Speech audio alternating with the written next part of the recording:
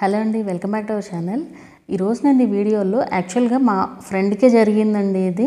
So దాని గురించి అయితే ఈ వీడియోలో షేర్ చేయబోతున్నాను. ఇలాంటి మోసాలు కూడా జరుగుతాయి అనిపిస్తుంది అనమాట సో అలా ఉంటుంది అది ఇలాంటి సిచ్యువేషన్ కనుక ఇప్పుడు ఇది వినండి ఇది విన్న తర్వాత మీకు అర్థమవుతుంది కదా. ఇలాంటి సిచ్యువేషన్ మీకు ఏదైనా తెలిసినా కూడా నాకు ఇన్స్టాగ్రామ్లో మెసేజ్ పెట్టి మీరు కనుక అది చెప్పారు అంటే నేను నేను వీడియో చేసి అయితే పెడతాను. ఎందుకంటే ఇవన్నీ కూడా ఆడియన్స్కి అవేర్నెస్ కోసం అనమాట ఇలాంటి వీడియోస్ అన్నీ కూడా చేయడం. సో ఇప్పుడు ఈ వీడియో టాపిక్లోకి వెళ్ళినట్లయితే కనుక ఇది జరిగింది ఒక టూ ఇయర్స్ బ్యాక్ అండి. జరిగిందనమాట ఇది. Uh, యాక్చువల్గా నా ఫ్రెండ్ ఒక ఆమెకి ఒక బాబు అనమాట సో అతనికి ఏంటంటే మ్యాన్రికం వల్ల సరిగ్గా uh, బాడీ పార్ట్స్ ఎదగకపోవడం బాడీ పార్ట్స్ కాదు బాడీ మామూలుగానే ఉంటుంది. బట్ మైండ్ అనేది ఎదగకుండా ఉంటారు కదా. సో అట్లాంటి పిల్లాడు అనమాట అది అతను ఏంటంటే నడవలేడు. ఎంతసేపు అట్లా పడుకుని ఉండడం తప్ప నడవడం అదంతా కూడా ఏం ఉండదు అనమాట సో అలాంటి అబ్బాయి ఇప్పుడు సిక్స్ ఇయర్స్ అనమాట సో ఎక్కడికి వెళ్ళినా ఇంకా అట్లా ఇలా భుజాన్ని వేసుకుని వెళ్ళాల్సిందే అనమాట నడవలేడు. సో అలాంటి అబ్బాయి అనమాట సో వీళ్ళందరూ ఏంటంటే ఒక టెంపుల్కి అయితే వెళ్ళారనమాట పెద్దమ్మ టెంపుల్ ఉంది కదా హైదరాబాద్లో సో ఆ టెంపుల్కి అయితే వెళ్ళారనమాట ఎవరు? తను వాళ్ళ అమ్మాయి ఈ బాబు. వీళ్ళ ముగ్గురు కలిసి వెళ్ళారు. సో బయటకు వచ్చేటప్పుడు దర్శనం అది అయిపోయి అంతా అయిపోయి బయటకు వచ్చేటప్పుడు ఒక లేడీ ఒక లేడీ ఏంటి బాబుకి ఏంటి ప్రాబ్లమ్ అది ఇది అని చెప్తుంటే ఎవరైనా కూడా ఇప్పుడు మన ప్రాబ్లమ్స్ని వేరే వాళ్ళకి చెప్పుకోవడానికి అంత ఇష్టపడరు కదా.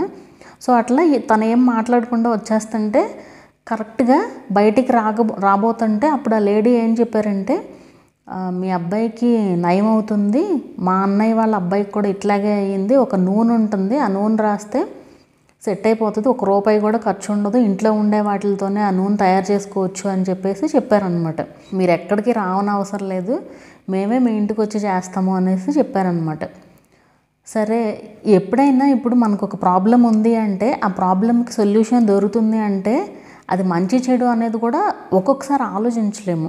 ఒక్కొక్కసారి మన బుర్ర పనిచేయచ్చు ఒక్కొక్కసారి అలా ఆలోచించలేం కదా. సో వెంటనే తను అప్పటి వరకు మాట్లాడిందల్లా అవునా అన్నట్టు ఆగి వినడం స్టార్ట్ చేసేపాటికి ఆవిడ చెప్పడం స్టార్ట్ చేశారనమాట సో అలా చెప్తూ చెప్తూ ఇట్లా ఏంటి ప్రాసెస్ ఏంటి ఇది అంటే నాకైతే తెలియదండి మా అన్నయ్య వాళ్ళ అబ్బాయికి ఇట్లాగే అయితే ఎక్కడో తెలుసుకుని అట్లా నూనె అప్లై చేయడం వల్ల సెట్ అయిపోయింది. బాడీకి రాస్తే అంత బాగుంటుంది అనేసి చెప్పారనమాట సో అలా చెప్పిన తర్వాత వీళ్ళు ఓకే అనుకున్నారు. తను వాళ్ళ హస్బెండ్కి చెప్పిందనమాట సో సో చెప్పంగానే ఇప్పుడు ఎవరైనా ఊరికే అసలు ట్రై చేద్దామనే ఇదిలో ఉంటారు కదా ఎలాగో ఖర్చు లేని పని ఎలాగో ట్రై చేద్దాం అనుకుంటారు కదా.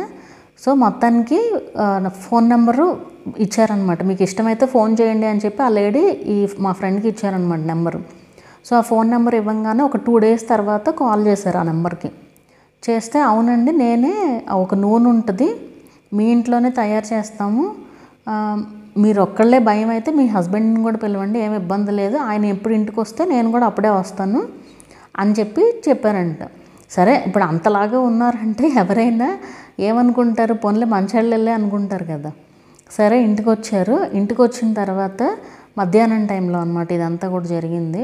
ఇప్పుడు ఇంటికి వచ్చిన తర్వాత ఒక ఆయిల్ తయారు చేయాలని చెప్పేసి ఇంట్లో ఉండే వాటితోనే లైక్ ఒక మూడు రకాలు. అవేంటంటే మనకి బాడీకి బాగా వేడి తెప్పించే ఇదనమాట సో అట్లా ఒక మూడు రకాలు వేసి నూనె కాయడం స్టార్ట్ చేశారు.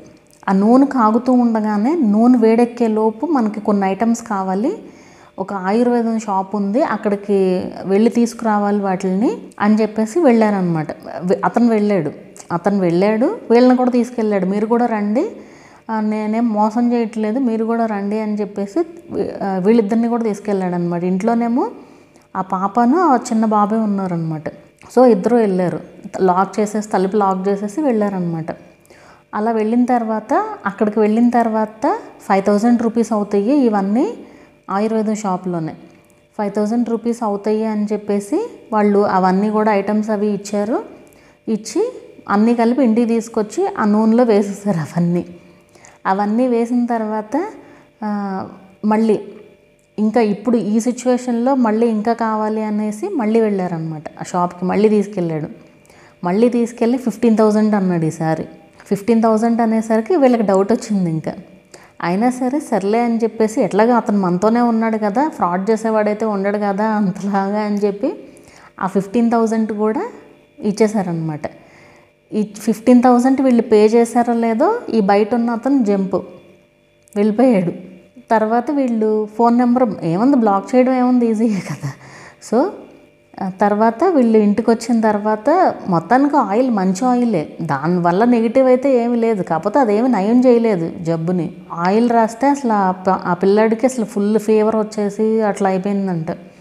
సో ఇట్లా ఉంటాయండి మోసాలు. ఇక్కడ మనం ఆలోచించలేమన్నమాట. ఇలా జరుగుతుంది అని కూడా మనం చెప్పలేము. అంటే ఏదో తెలివితేటలన్నీ కూడా మంచి విషయాల కంటే ఇలాంటి వాటికి వాడుతున్నారనమాట జనాలు. సో మరి ఈ విషయం అంతా కూడా ఇప్పుడు మనం మామూలుగా కంప్లైంట్ చేయొచ్చు కదా అని అనుకోవచ్చు. నేను కూడా అన్నాను మరి ఎందుకు అట్లా కంప్లైంట్ చేయొచ్చు కదా? ఎందుకు వదిలేశారు? అసలు కంప్లైంట్ చేయాల్సింది ఆ షాప్ అతని మీద కదా. అసలు ఆ షాప్ అతని మీద కంప్లైంట్ చేయకుండా ఎందుకు వదిలేశారు? అంటే ఇప్పుడు ఆ వచ్చిన అతనికి ఇల్లు తెలిసిపోయింది కదా. సో ఒకవేళ మనం కంప్లైంట్ చేస్తే మళ్ళీ ఏమన్నా చేస్తారేమో అన్న భయంతో వదిలేశారనమాట సో అట్లా ఉన్నారు. మనం చాలా చాలా జాగ్రత్తగా ఉండాలి. ఏది చేయాలన్నా కూడా ఈ రోజుల్లో ఎవరిని నమ్మే సిచ్యువేషన్ అయితే లేదు. మనకి ఫ్రీగా వస్తుంది అనేసి ఏది మనం చేయకూడదు. అండ్ ఇప్పుడు ఫ్రీ అనేసరికి నాకు ఇంకోటి గుర్తొచ్చింది. ఇది జస్ట్ స్టోరీనే. కాకపోతే దాని నుంచి మనం తెలుసుకోవచ్చు కూడా. ఇలాంటి ఒక స్టోరీనే ఉంది. యాక్చువల్గా ఒక వైఫ్ అండ్ హస్బెండ్ ఉంటారంట. సో వాళ్ళిద్దరూ ఏంటంటే ఖాళీగా ఉన్నారు. ఏం చేయాలో తెలియట్లేదు. ఎక్కడికన్నా బయటికి వెళ్దాము అనుకుని వాళ్ళు కిందకి వెళ్తారనమాట పార్కింగ్లో చూస్తే వాళ్ళ car missing. So car miss అయిపోయింది అని చెప్పి పోలీస్ కంప్లైంట్ ఇద్దాము అనుకుని అంతా సెట్ చేసుకునే లోపు మళ్ళీ కార్ పార్కింగ్లో ఉంటుందన్నమాట. సో అందులో ఏముంటుందంటే ఆ కార్తో పాటు ఒక రెండు మూవీ టికెట్స్ ఉంటాయి అన్నమాట అందులో ఒక లెటర్ కూడా ఉంటుంది. ఆ లెటర్ ఏంటి అంటే యాక్చువల్గా నేను దొంగని కాదు. మా ఇంట్లో వాళ్ళకి మా అమ్మకి బాగా సీరియస్ అయిపోయింది హెల్త్ ఇష్యూ వచ్చింది. సో అందుకే నేను ఆ కార్ని తీసుకుని వెళ్ళాను అని చెప్పేసి లెటర్. మీకు థ్యాంక్స్గా నేను డబ్బులు ఇవ్వలేకపోతున్నాను ఊరికే జస్ట్ ఈ మూవీ టికెట్స్ అయితే ఇస్తున్నాను అని చెప్పి ఆ మూవీ టికెట్స్ ఇచ్చారనమాట సో వీళ్ళకి ఎలాగో ప్లాన్ ఉంది కదా. ఎలాగో ప్లాన్ ఉంది కాబట్టి వాళ్ళు డిన్నర్కి వెళ్ళి ఆ తర్వాత మూవీకి కూడా వెళ్తారనమాట మూవీకి కూడా వెళ్ళి ఇంటికి ఇంటి తిరిగి వచ్చేలోపు ఇల్లంతా లూటీ చేస్తారు. ఏంటి ఇక్కడ? ఎవరైతే ఆ లెటర్ పెట్టారో వాళ్ళే చేస్తారనమాట ఇదంతా కూడా. మనకు అందుకే ఫ్రీగా ఎందుకు ఇస్తారు? ఎవరైనా ఎందుకు ఇస్తారు మనకి ఫ్రీగా అనేది ఆలోచించుకోవాలి ఎప్పుడైనా సరే. నేను ఈ రెండు ఏ ఉద్దేశంతో చెప్పాను అనేది అర్థమయ్యే ఉంటుంది కదా. సో మనం చాలా చాలా చాలా జాగ్రత్తగా ఉండాలి. మన ఇప్పుడు మనతో పని లేకుండా మన మీద ఎవరన్నా ఇన్వెస్ట్ చేస్తున్నారు మనీ అంటే ఎందుకు ఇన్వెస్ట్ చేస్తున్నారు అనేది ఆలోచించుకోవాలి. ఇప్పుడు ఇప్పుడు దాని ద్వారా మనం వాళ్ళకి ఇంకా వేరే హెల్ప్ ఏదో చేయాల్సి రావచ్చు. అది కరెక్ట్ కరెక్ట్ అయిన హెల్ప్ కాకపోవచ్చు. సో అది చాలా జాగ్రత్తగా ఉండాలన్నమాట. అది నేను చెప్పాలనుకున్న ఉద్దేశం అనమాట ఇది.